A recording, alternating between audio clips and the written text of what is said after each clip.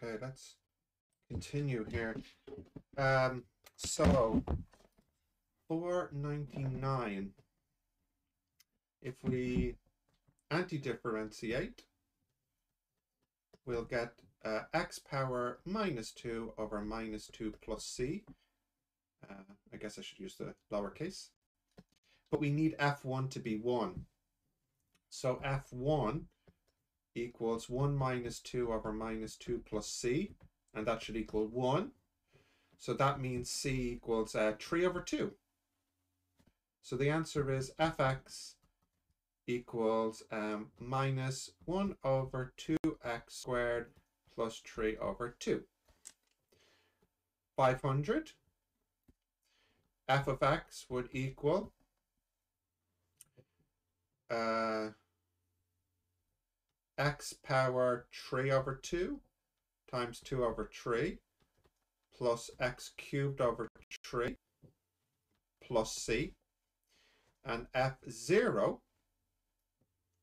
has to equal 2 so that means c has to equal 2 so fx is 2 thirds x power 3 over 2 plus x cubed over 3 plus 2 uh, 501 fx uh, anti-differentiating cos becomes um, um, sine.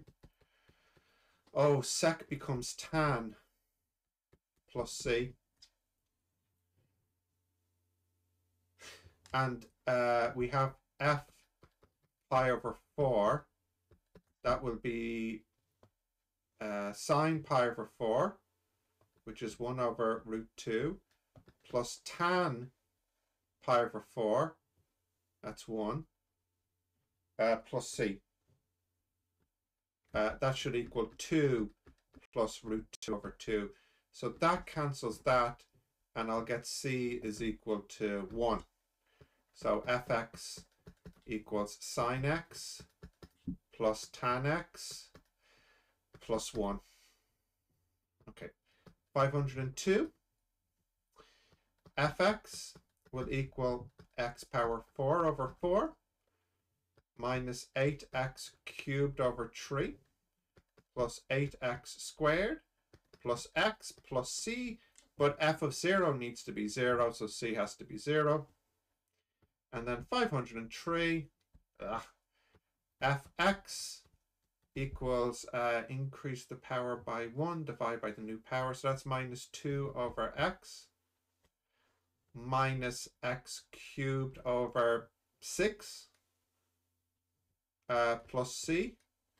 But here f1 has to be 0. So that means minus 2 over 1 minus 1 over 6 plus c has to equal uh, 0.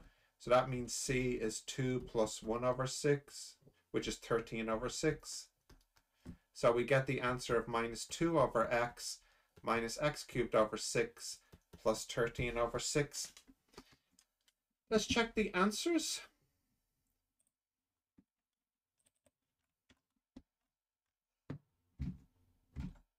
Four ninety nine.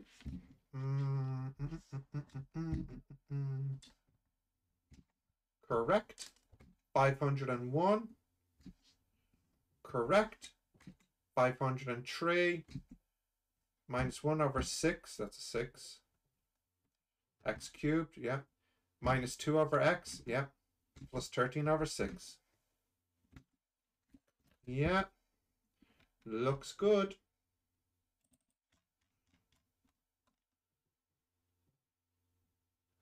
Okay. Good, good, good.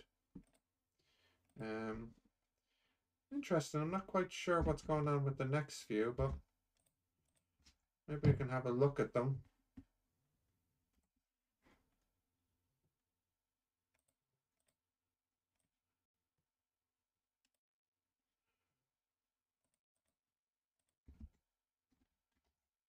Okay.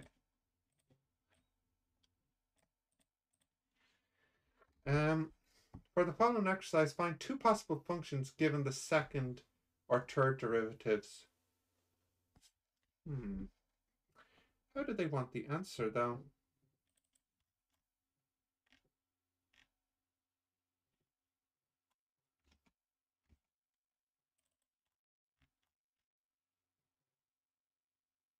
Just put any old value of c in, I guess. All right, whatever.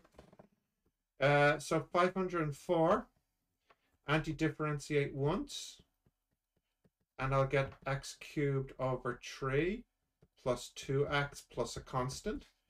Anti-differentiate again, and I'll get x power 4 over 12 plus x squared plus ax plus b.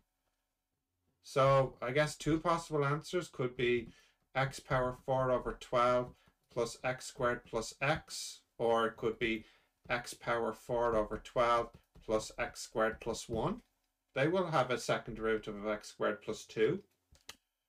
Kind of a weird question. Uh, 505, if you anti-differentiate this twice, you'll end up with, uh, well, once would be minus e minus x, and then again would be e minus x. So you could have e minus x as one possibility, or e minus x plus 1, I guess. Really? Is that all we have to say here? Yeah. Okay. It's a really weird question. 506. Uh, 1 would become x plus x squared over 2. So that would be x squared over 2 plus x cubed over 6. Or the same again, but I don't know, just put a plus 1 at the end. It's a really dumb question. 507, that would be minus cos x. Because minus cos x becomes sine x, becomes then cos x. Or guess what I'm going to do? Put a plus 1 at the end. Uh, 500. Oh, hang on. Is that three derivatives? Ah, you have to be careful now. Not two derivatives. So cos becomes sine. Sine becomes minus cos and minus cos becomes minus sine. So I'm going to say minus sine x or minus sine x plus 1. And then 508. Oh, okay, let's write it down. The second derivative will become 8e minus 2x over minus 2 plus cos x. And then the first derivative would be 8e minus 2x over 4 plus sine x. So the answer could be uh, divided by minus 2, minus e minus 2x minus cos x. Or, guess what I'm going to do? Minus e minus 2x minus cos x plus 1. Ain't I a stinker? Um, e minus x is one possible answer. So is e minus x plus 1. And then 507 uh, minus sine x. Yes. Or minus sine x plus 1. I really don't get why it insists on finding two possible functions for f. I find that really bizarre question. All right, well, there you go. There you go. Um, okay, and then we have uh, some uh, word-based problems, which we shall do in the next set of questions we do. Okay, so that's up to 508 done.